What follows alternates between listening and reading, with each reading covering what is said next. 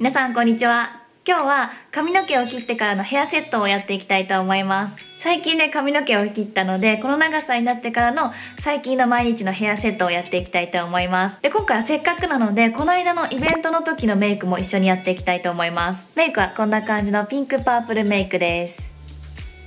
で、ヘアセットもね、あの、この間のイベントの時も大体こんな感じのヘアセットをしてるので、気になる方はぜひチェックしてみてください。春にぴったりなので参考になると嬉しいです。それでは、スタートはい、それではメイクから始めていきます。で、今日は先にね、アレルバリアミストはもう仕込んであります。で、最初に使うのがこちらです。D プログラムのアレルバリアクリーム。イベントの日は普通のファンデーション使いたかったので、こちらを使います。やっぱりね、もうほんと毎日のようにこういうの使って花粉から守るようにしてるんですよ。普通のファンデーション塗るときはこっちのクリームを使って守ってます。で今日はなんか珍しくここにニキビみたいな吹き出物ちゃんがねいるんですよ。2個ぐらいいてでここにもいるの。すごいなんかほっぺにできるって珍しいんだけどなんか今日はねできてますね。肌荒れしてる。でまたこっちの左目がねすごい荒れていて今日も赤みがちょっと強いんですよ。昨日ぐらいまでちょっとカサカサとかしてたんだけど今日は少し治ってて赤みはまだ引いてないですね。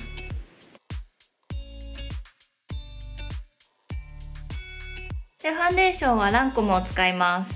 タンイドルウルトラウェアリキッドのオークル02番。これは崩れにくいのでこういう大事な時とかはね使ってます。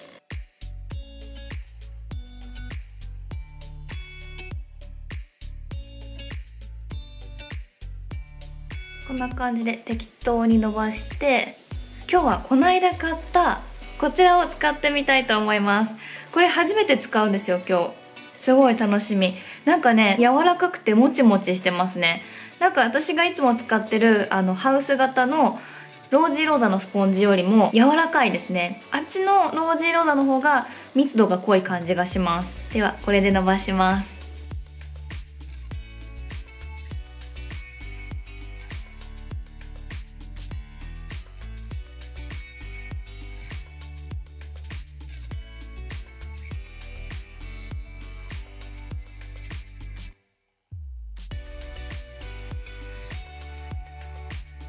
なんか伸ばしてる感じはあんまり普通のスポンジと変わらないんですけどあのね仕上がりを見るとやっぱりちょっと毛穴とかが綺麗かもしれない。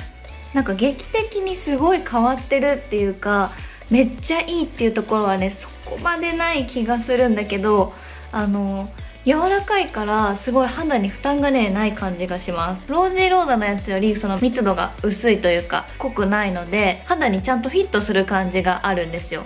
だからちょっと毛穴とかもねしっかり埋まる感じもあるしフィットするのかなと思います。でもいい感じすごい。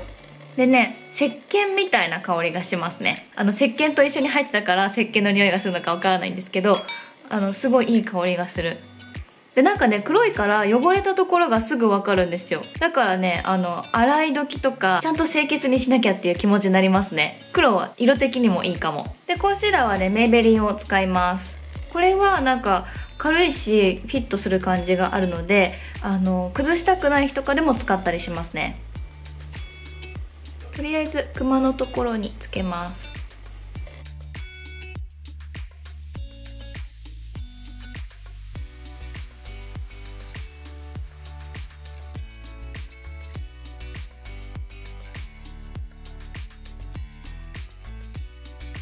でこういうニキビのところはねバントルテを使うようにしてます。なるべくね負担ないようにしたいのでミネラルコスメで隠します。でそしたらパウダーもバントルテを使います。これは肌に優しいしあの崩れ方がねめちゃくちゃ綺麗なんですよ。なのであの崩したくない日とか大事な日とかそういう時にも使ってます。でこの間ちょうどなくなったので詰め替えました。見えるかな？こんな感じで中身だけ入れました。私はね、一式全部洗ってから詰め替えるようにしてます。まあそんなに気にしなくてもいいのかもしれないんですけど、一応洗った方が新鮮かなと思って全部洗うようにしてます。で、これをしっかり全体につけます。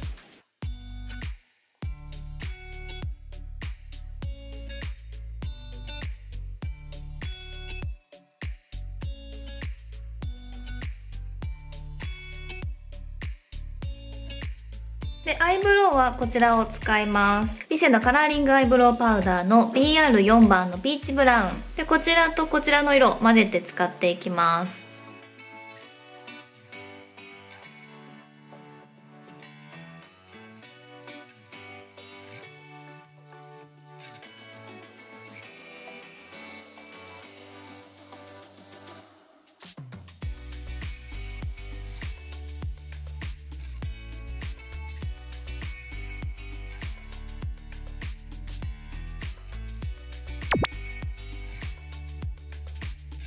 そしたら眉マスカラはいつも通りメイベリンを使います。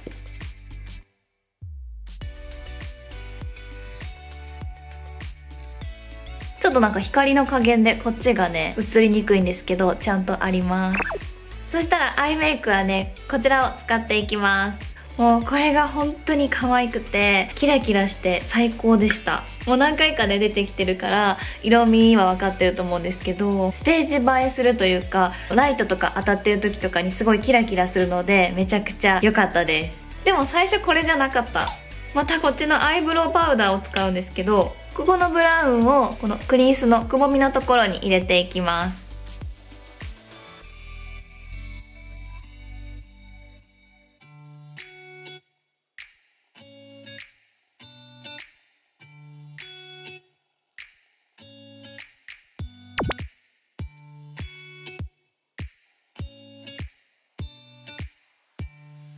やっと出番が来ました。こちらのパールが入ったピンクの色を使っていきます。さっきのブラシを使ってちょんちょん取って二重幅全体にのせていきます。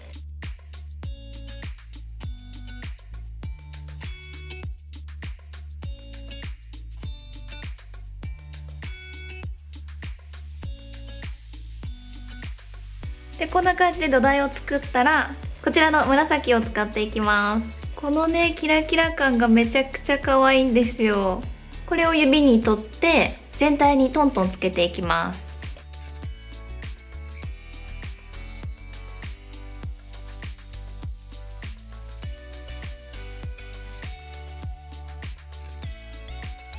はいこんな感じです。このラメめちゃめちゃ綺麗ですよね。紫なんだけどピンクっぽいラメが入っていてすごいキラキラするんですよ。瞬きをした時とか下を向いた時とかにねすごい映えるのでステージにもいいですけど普段使いにもポイントになってすごいいいと思います。でこのパレットが結構そういうラメがねいっぱい入ってるのでちょっと雰囲気変えたい時とかにすごくいいです。でそしたらビューラーをしていきます。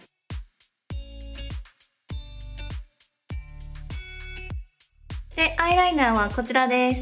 もう本当にお気に入りで使ってるビセです。メルティシャープジェルライナーの BR320 番。で、これでインライン引いて、ちょっとね、伸ばします。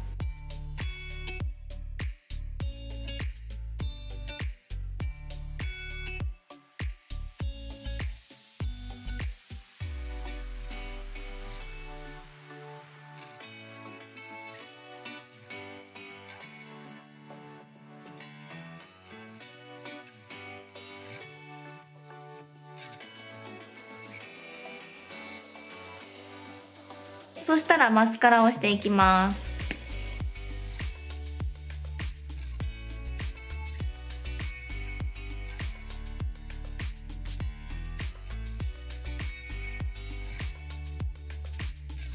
はいまたこちらのパレット戻るんですけどここのブラウンを下まぶたのこの目尻の方に入れていきます。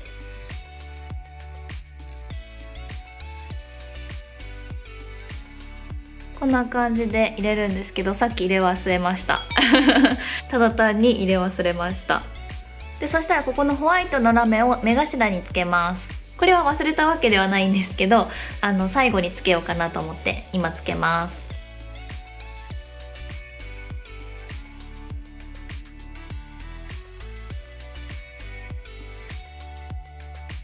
はい全体的にキラキラにしました。でアイメイクはこれで終わりで。やだやだ。今ねブロンザー落としちゃってちょっとだけ壊れたかも。このケビン・オークイもね落としちゃって。なんか変になっちゃった。でも大丈夫かな。ということでこちらを使います。ほんとコスメ落とすとテンション下がりますよね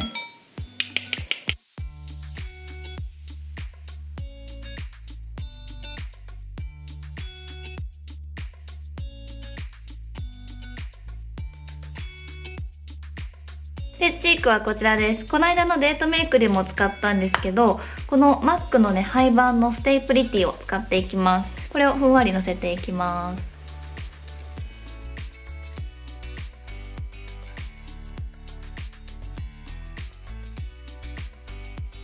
で、ちょっとね、思い出したんですけど、ノーズシャドウをね、入れるの忘れました。さっきのビセのアイブロウパレットに戻って、この明るい色を使っていきます。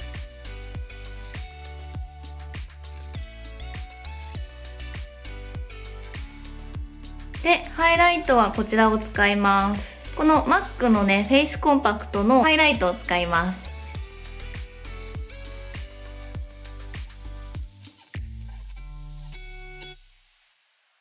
はい、こんな感じでめちゃめちゃツヤンってしますよね。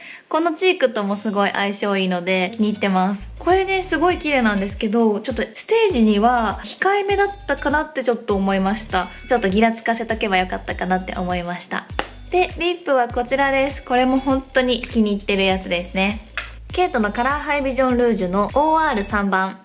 この明るめのピンクです。ちょっとね、あの、ベージュ系とね、迷ったんですけど、ちゃんと色がついてる方が顔がはっきりするかなと思って、こちらにしました。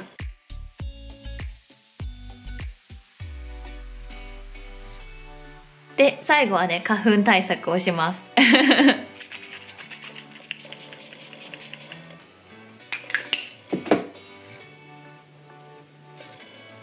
はいということでメイク完成しました。こんな感じです。ピンクパープルメイクをしてました。ステージの衣装がねパープルのワンピースだったのでピンクとかパープル系をね使いたいなと思ってこんな感じのメイクにしました。もうねアイシャドウは絶対にこのパレットを使おうって決めてたので衣装とのねあの相性が良くてすごい良かったです。これはそういう時のメイクにも使えるしほんと普段メイクにも使えるのでほんと1個持っておくとね便利なパレットだなと思いましためっちゃおすすめでは髪の毛をやっていきたいと思いますはい、髪の毛は最近短くしたので、この長さになってからの普段の巻き方をね、やっていきたいと思います。で、髪の毛ね、切った時に、あの、長さどれぐらいですかっていうのを聞かれたので、巻いてない長さをね、紹介したいと思います。切りっぱなしの平行気味のボブっていう感じのスタイルです。今回ちょっと重めなんですよね。で長さはだいたい巻かないで鎖骨ぐらい。で横から見るとこんな感じ。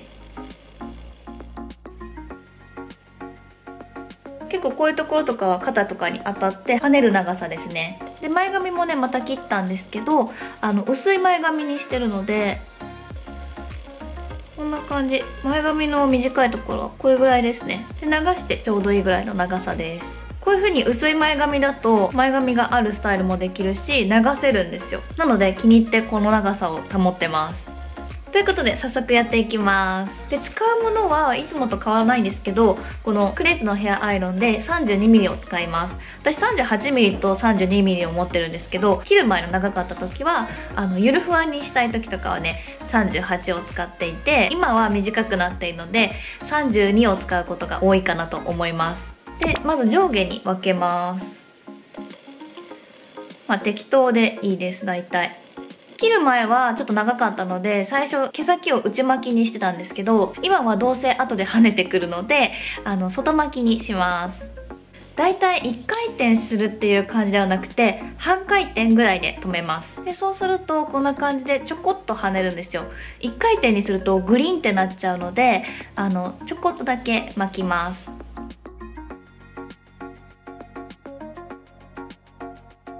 この耳の高さのところに膨らみが欲しいのでここだけちょっと巻きます。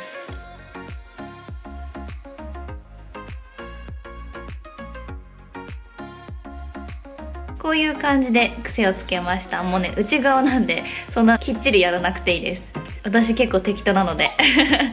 で上も同じようにやっていきます。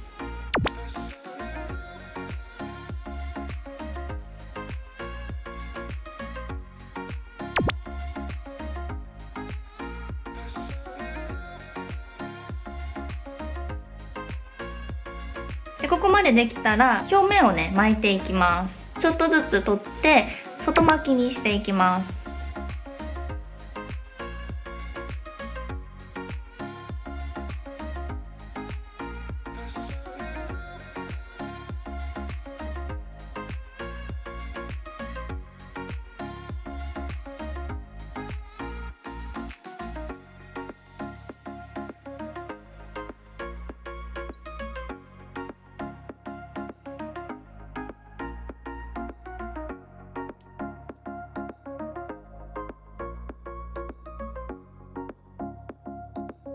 しっかりほぐすとねこんな感じです。今は毛先中心に巻いていきました。そしたら反対側も同じことをやっていきます。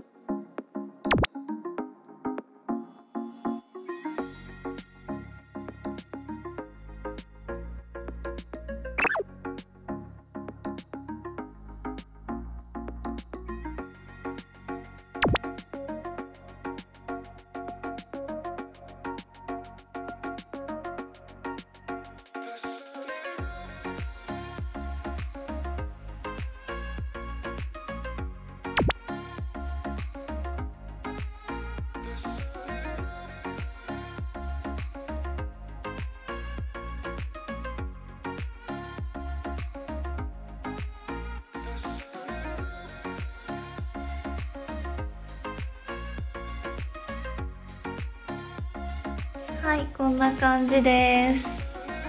こっち側の顔周りここはボリュームをね少し出したいところなので上の方から巻いていきます。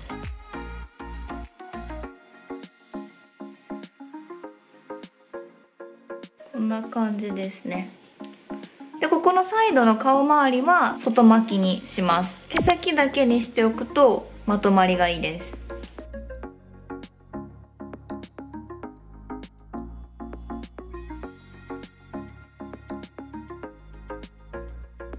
感じでちょこんとだけ癖をつけます。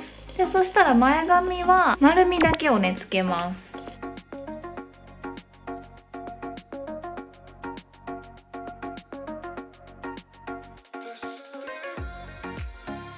でここら辺を整えれば完成です。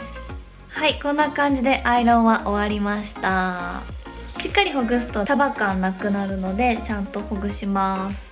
そしたらねワックスをつけます。N ドットのナチュラルバームちょこっとつけます。イベントの時はさすがにちょっと多めにつけたんですけど普段の時はね全然これで大丈夫だと思う。こんな感じ。これをしっかり手になじませて全体につけます。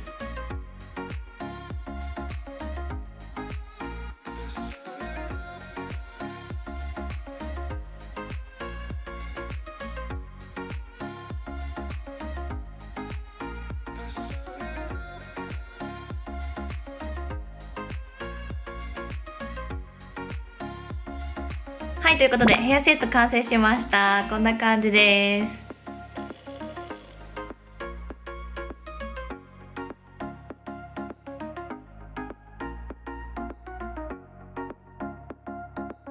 こんな感じでいつも巻いてます。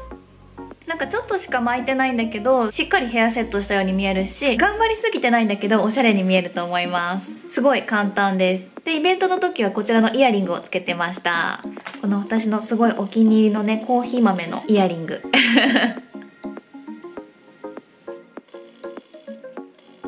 形はね、よくわからないんだけど、キラキラしててめっちゃ可愛い。はい、ということで、イベントの日のメイクと最近のヘアセットでした。どうでしょうか？